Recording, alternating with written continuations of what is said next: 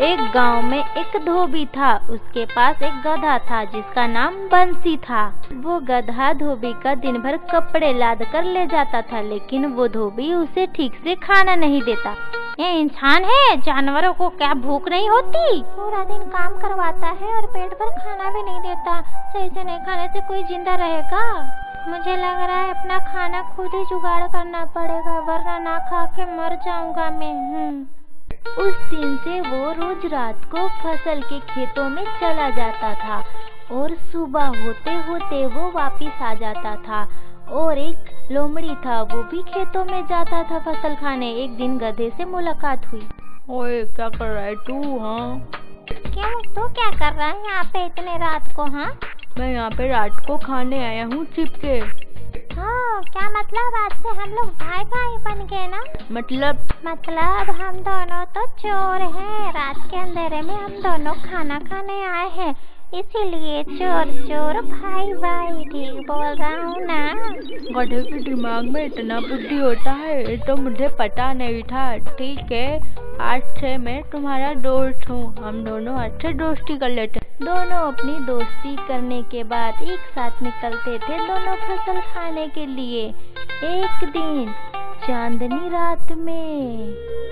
दोस्त देखो देखो कितनी सुंदर चांदनी रात है। कितना सुंदर लग रहा है। देखो इतने दिन बाद में ऐसी रात देखा हूँ दोस्त। मुझे एक गाना गाने का मन कर रहा है। क्या? बोलो ना कौन सा गाना गाऊं? ऐसा काम मत करना वरना हम लोग फंस जाएँगे। डर किस बात की इतने दिन बाद गाना गाने का मन किया है। गाऊं एक गाना? थोबा थोबा गाना गाना अभी नहीं तुम्हारा गला तो फटा हुआ है। बहुत दूर तक आवाज़ जाएगी। क्या?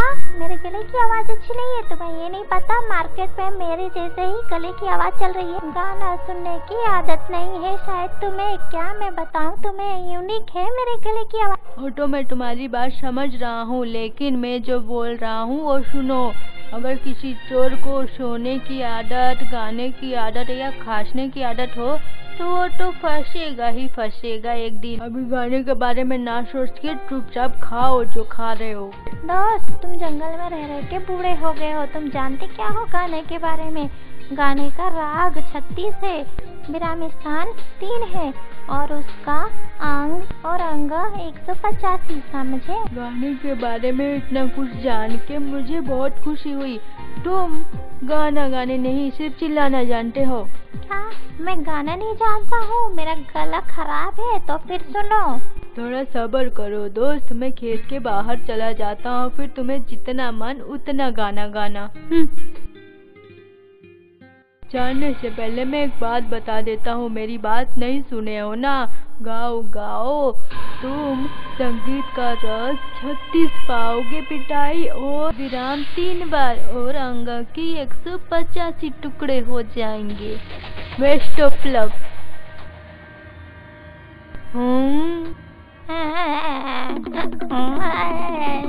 कितने दिनों के बाद आज गली में निकला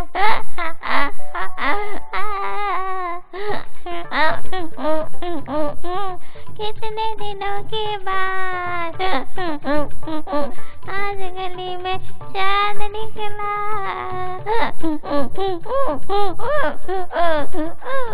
कितने दिनों के बाद? चाँद निकला। गली में चाँद निकला। सोचा था इसके अंदर थोड़ी सी तो अकल होगी।